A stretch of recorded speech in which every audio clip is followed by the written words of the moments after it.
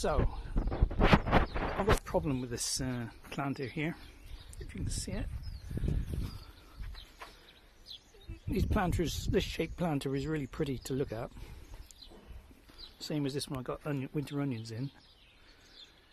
But uh, they're not really very practical really because you can't plant as many put as many plants in because you've got to fill the compass right to the top to gain the extra width if you see what I mean.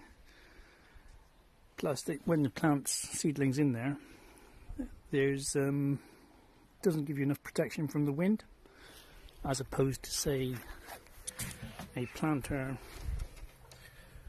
like this we put the parsley in. You see how you got that wind protection?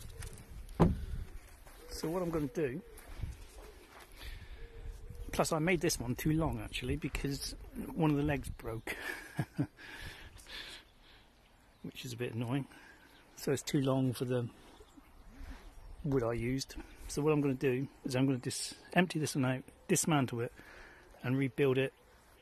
Use the wood to make another lantern like that one there or that one there I'll take a few photos along the way to show you how it goes